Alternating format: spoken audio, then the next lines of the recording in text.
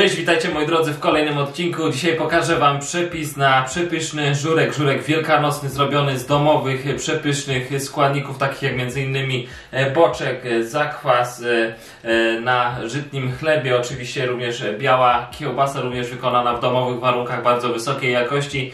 Także sami widzicie składników niedużo, ale zupa będzie przepyszna i z pewnością Waszym gościom, Waszej rodzinie na stole wielkanocnym ona zasmakuje. Jeżeli wykonacie takie danie z mojego przepisu, koniecznie zróbcie zdjęcie, dodajcie na Instagrama czy na Facebooka. A propos tych e, portali, e, poniżej wyświetlają Wam się tutaj nazwy, a wszystkie linki znajdziecie w sekcji komentarzy oraz w opisie. A cały przepis w formie pisanej również będzie znajdował się e, w linku w opisie. Pamiętajcie moi drodzy, żeby oglądać mnie do końca odcinka, ponieważ na samym końcu będę miał dla Was niespodziankę. Mam nadzieję, że Wam się spodoba.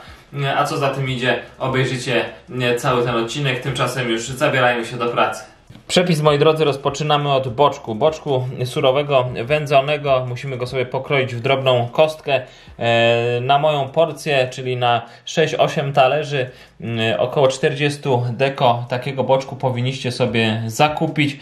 E, jeżeli mnie oglądacie, wiecie, że jeżeli sam czegoś nie zrobię, no to staram się zakupić produkty najwyższej jakości.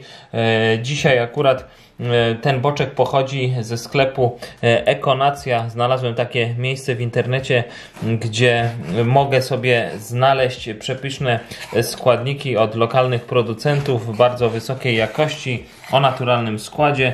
No tak więc, jeżeli sami nie macie czasu na przykład sobie e, uwędzić takiego mięska albo nie macie dostępu gdzieś u siebie u rzeźników do bardzo wysokiej jakości boczku, no to taki sklep teraz służy pomocą.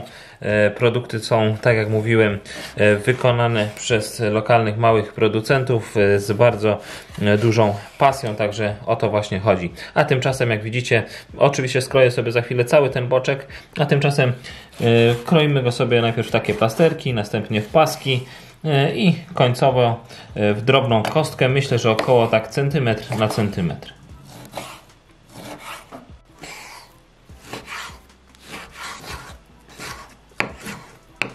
Jak sami widzicie teraz tak z bliska, e, ten boczek jest w kolorze naturalnym, a więc na pewno był wędzony w najlepszych warunkach. Nie jest on taki farbowany, jak to możecie sobie gdzieś znaleźć e, takiej podrzędnej jakości w sklepach czy rzeźnikach, tak więc zwróćcie zawsze uwagę sobie też na kolor, żeby to nie było takie chemiczne e, i na zapach oczywiście, żeby było czuć rzeczywiście tą wędzonkę, tą naturalność. Boczek, moi drodzy, mamy pokrojony.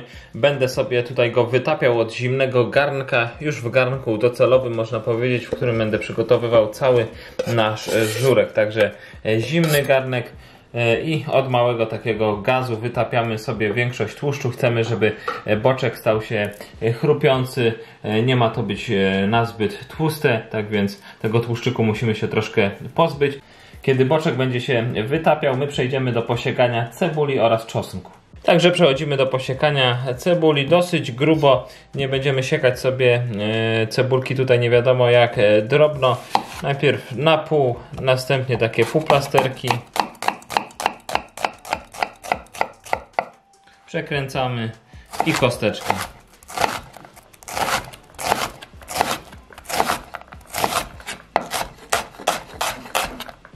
Cebula posiekana, tak więc przechodzi kolej na czosnek. Cztery ząbki, takie dosyć spore czosnku w zupełności wystarczą.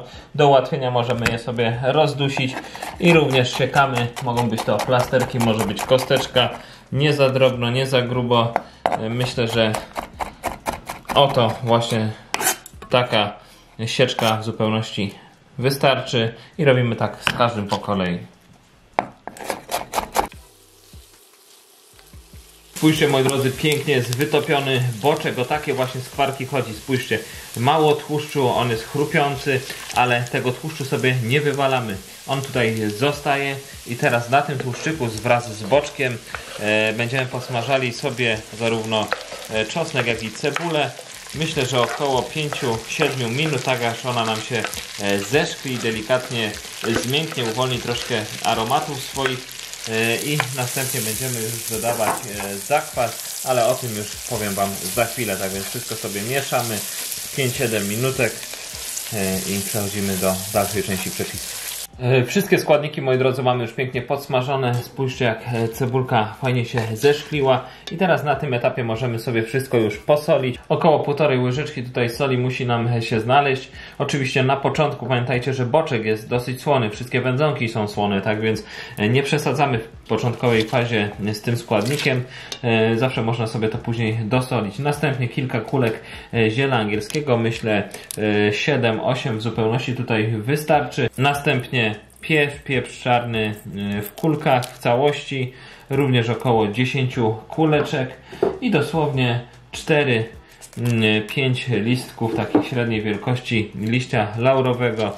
Możemy to sobie tylko troszkę przemieszać, one złapią temperatury, uwolnią swoje aromaty i na tym etapie już będziemy dodawali sobie przepyszny zakwas. A jeżeli moi drodzy chodzi o zakwas na żurek, to tak jak widzicie e, mam dwa tutaj takie słoiczki pojemności 320 ml e, każdy. Również sobie jak zamawiałem e, boczek, no to zamówiłem od razu ze sklepu Ekonacja zakwas oraz białą kiełbasę tutaj surową. Są to tutaj wszystkie wyselekcjonowane smaczne ekoprodukty ze sprawdzonym składem, także warto na pewno się zapoznać, a jeżeli chodzi o skład tych produktów, no to akurat w przypadku zakwasu będzie to mąka żytnia, woda, zakwas chlebowy, mm, warzywa, czosnek, cebula, przyprawy i e, kilka jeszcze pewnie innych jakichś tutaj e, składników, także same naturalne rzeczy. I teraz potrzebować będę sobie dwóch takich słoików. Jeden słoik tutaj jest napisane, że będzie wykorzystany do na 2 litry żurku maksymalnie. Ja chcę zrobić nieco kwaśniejszy, tak więc półtora litra na jeden słoiczek. Myślę, że to będzie maks, e, jaki dodam wody. Także otwieram e, i wlewam do garnka. On się prezentuje oto w ten sposób. Jest on gęsty, niesamowicie pachnie. Także sami widzicie, bardzo fajne składniki, warto czytać e, etykiety i wrzucamy sobie do garnka z boczkiem i cebulą. Dolewam wodę, wodę przefiltrowaną akurat w moim przypadku. Woda dolana, no i wrzucamy sobie dwie parki e, kiełbasy, no tak jak już słyszeliście przed chwilą również e, zakupiłem ją w tym samym sklepie e, i gotujemy sobie to wszystko przez około myślę 15-20 minut na takim małym ogniu. Kiełbaska nam się sparzy, odda jeszcze aromatu, odda smaku swojego. Następnie doprawimy jeszcze jedną przyprawą. E, dodam jeszcze jeden składnik, ale o tym za chwilę. Tak więc 15-20 mm, minut podgrzewamy e, i przechodzimy do dalszej roboty. Kiełbaska, moi drodzy, jest już ścięta ale jeszcze sobie podgotuję to wszystko 10 minut. Mówiłem, że dodam jeszcze kilka składników. No i pierwszym z nich jest e, majeranek. E, majeranek jest nieodzowną częścią e, żurku. Musi on się tutaj znaleźć, jest konieczny. Dwie takie spore szczypty majeranku na taką ilość co najmniej muszą sobie tu wylądować. Rozcieram jak widzicie w dłoniach. E, tak żeby uwolnić jeszcze więcej aromatów, e, a rozcieranie w dłoniach powoduje też to, że ten żurek później nie jest taki gorzki. E, możemy sobie to wstępnie tak wymieszać i dodamy jeszcze sobie śmietanki, śmietanki kremówki. Śmietanka kremówka w ilości 100 ml, żeby tutaj nam zahartować całość kremówki dorzucam sobie dwie łyżki gorącego żurku, e, może jeszcze dwie, tak żeby po prostu e, tutaj śmietana nabrała temperatury, żeby nie wlać takiej zimnej, no bo zawsze jest ryzyko, że nam się ona zważy, chociaż kremówka nie powinna tego zrobić, tak więc taką mieszaninę teraz ciurkiem sobie wlewam do środka, cały czas mieszając. O właśnie, Śmietanka nam tutaj załagodzi, e, cały smak zrobi e, żurek takim pełniejszym, e, delikatniejszym, ale ta kwasowość, aromaty wszystkich tutaj przypraw też tutaj pozostaną, tak więc wszystko jest jak najbardziej w porządku. I tak jak mówiłem około jeszcze 10 minut to sobie na bardzo małym gazie jeszcze podgotuję. E, w międzyczasie możecie sobie ugotować e, jajeczko. Niektórzy podają żurek też z ziemniakami tłoczonymi takimi e, z, ze smażoną cebulką. Ja tego nie robię, u mnie w domu zawsze się robiło tylko jajeczko gotowane na twardo wraz z białą kiełbasą i w zupełności też mi tak to teraz wystarczy. Także 10 minut i wykładamy Żurek, moi drodzy, mamy już w zasadzie ugotowany. Dodatki teraz, czyli jajka i chleb. Chleb żytni. Jestem w szoku, że nawet y, w tym sklepie Ekonacja był chleb. Chleb taki prawdziwy, żytni na zakwasie. Yy, upieczony. Dosłownie dwie, trzy kromeczki sobie ukroję. Zobaczcie, jak on pięknie się w środku prezentuje. Ma nasiona.